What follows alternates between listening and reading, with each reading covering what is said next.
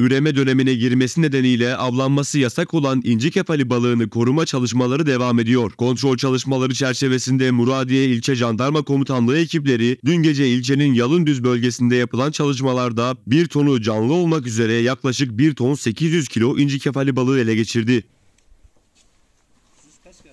Olayla ilgili bir kişiye 67.558 lira para cezası uygulanırken kaçakçılıkta kullanılan kamyonet ise 15 gün trafikten men edildi.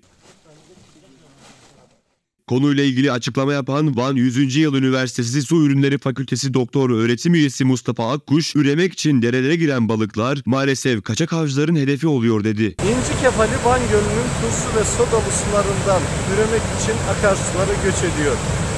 Bu göç sırasında inci kefali martılarla, yılanlarla, birçok canlıyla baş ediyor. Akıntıyı yeniyor. Fakat inci kefalinin yenemediği tek canlı var, o da insanoğlu. Üremek için derilere giren balıklar maalesef kaçak avcıların hedefi oluyor.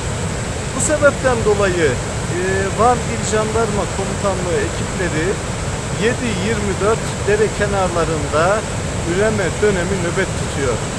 İşte bu akşam da yine e, kaçak avcılık yapan insanları e, kaçak avcılığı önlemiş oldu.